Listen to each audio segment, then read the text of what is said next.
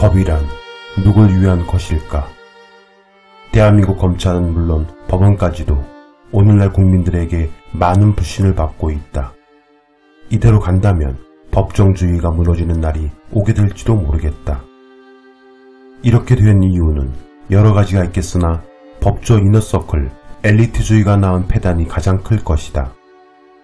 먼 옛날 왕권을 견제하고 통제하는 수단으로 의회의 동의를 받아야 했던 영국 대헌정이 민주헌법의 초석이었다. 우리나라 또한 왕권 경제를 위한 재상주의가 존재했다. 하지만 그것은 귀족 또는 양반 등 특수 계층의 사람들이 왕권을 제한하고 자신들의 엘리트주의를 고착화시키기 위해 법이라는 수단을 만들어 왕권을 제한했다는 끊임없는 논쟁이 있었다. 최근 열린공감TV에서 매주 월요일 밤 9시에 생방송으로 진행하는 악의 카르텔 옵티머스 게이트 또한 이러한 맥락에서 소위 밀본으로 불리는 기득권들이 만들어낸 대국민 사기극에 대한 전말을 보여주는 것인데 그들은 자신들의 inner circle을 견고히 하기 위해 법을 이용한다. 아니 법을 지배한다고 보는 것이 맞을 것이다. 스카이로 불리는 대학 출신 법조인들을 중심으로 엘리트 권력을 만들어내고 일반 주권자인 시민들을 지배하는 그들은 공정은 고사하고 기울어진 법의 저울을 통해 이권을 챙기고 천문학적 부를 누리며 법치주의가 아닌 법조주의를 만들어버렸다. 즉, 이 나라 법은 국민을 위한 것이 아닌 법조인들을 위한 법이 되었으며 그들이 법의 주인이 되어 자신들만의 주관 권력을 휘두르는 것이다. 법이란 한 국가를 구성하는 국민들의 평균적 합의이다. 법을 통해 남보다 힘세고 우월한 사람들이 마음대로 타인을 억압하고 치부를 누릴 수 없도록 통제하는 수단이 법이다. 법을 통해 권력을 가진 자든 힘없는 약자이든 합의에 의해 특정 사안을 판단하게 만든 것이 법이며 그것은 아무래도 약자를 위한 평균적 합의일 것이다. 검찰총장을 비롯하여 법원의 주장과 수많은 법조인들이 법과 원칙에 의해서라고 말을 한다. 툭하면 법대로 한다고 한다. 과연 그럴까? 지금 현재 저들이 말하는 법이란 주관 권력, 재량 권력을 뜻하며 법의 맹점을 이용해 스스로를 보호하고 강자를 도우며 제 식구 감싸기, 가진 자들의 편에서 주권자들의 평균적 사고 따윈 안중에 없고 인문정신 또한 사라진 지 오래이다. 과연 이들이 법조문을 들출 때 법조문 안에 없는 사람들의 평균적 합의와 판단이 무엇인지 끊임없는 고민을 할까? 법전만으론 유죄가 명백하나 시민 배심원제를 통해 무죄가 되는 사례가 많은 이유를 어떻게 설명할까? 진정한 법치주의란 법조문 밖에 있는지도 모른다.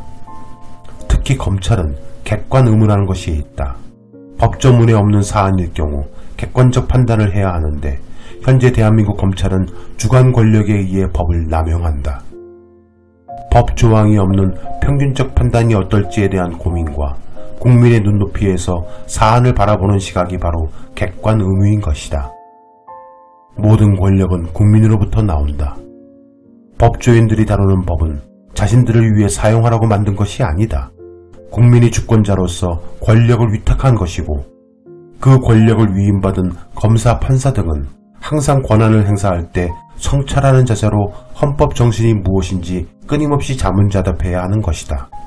그것만이 권한을 남용하는 일을 줄일 수 있다. 검사 출신 변호사, 판사 출신 변호사, 특정 학교 출신 변호사들을 위해 그들과 협력하는 수준을 뛰어넘어 상호 이권을 나누고 자신 스스로 또 다른 전관이 되어 후배들을 이용해 치부를 누리는 이 법조 카르텔 사이카를 부실 수 없다라면 훗날 이 나라 법조계는 사람이 아닌 인공지능 AI가 모든 자리를 차지하게 될 것이다. 정치인들과 고위 공무원들 중 간혹 중국 고전 문구나 식구를 이용해 소외를 밝히는 경우가 있다. 그런데 유독 법조계가 심하다. 법조계 은어나 중국 고전을 들먹이는 사람들은 대체로 지적 엘리트주의와 관련이 있다. 법원에서 판결문을 쉽게 쓰자는 목소리가 오래전부터 있어 왔으나 일반인들에게 판결문은 여전히 어렵다. 그들만의 리그인 엘리트주의는 쉽사리 상식선을 넘게 된다. 부디 바라건대 옳고 그름만 제대로 판단할 수 있는 머리가 있다면 당신의 심장이 양심의 무게로 뛰고 있다면 법 이전에 사람을 보라. 사람이 사람답게 사는 세상을 위한 법 적용이 이리도 어려운가 말이다. 열린공감TV는 2월 1일 월요일 밤 9시 생방송 단독 탐사 취재 거대하게 카르텔 옵티머스 5편을 통해 이 나라 법조인들, 특히 법무법인 인맥을 통해 그들만의 촘촘히 엮여있는 카르텔이 이 나라를 어떻게 법비 공화국을 만들어 가는지에 대해 탐사 취재한 내용을 보도하고자 한다. 법조인의 시각으로 바라본다면 3.1 운동도 4.19도 5.18도 6월 항쟁도 촛불혁명도 모두 불법이다. 법조인들이여 법이란 엘리트들을 위한 그대들의 것이 아니다. 그대들이 법 전문가라도 법은 오로지 시민의 것이어야 한다. 그 누구도 법 위에 군림할 순 없다.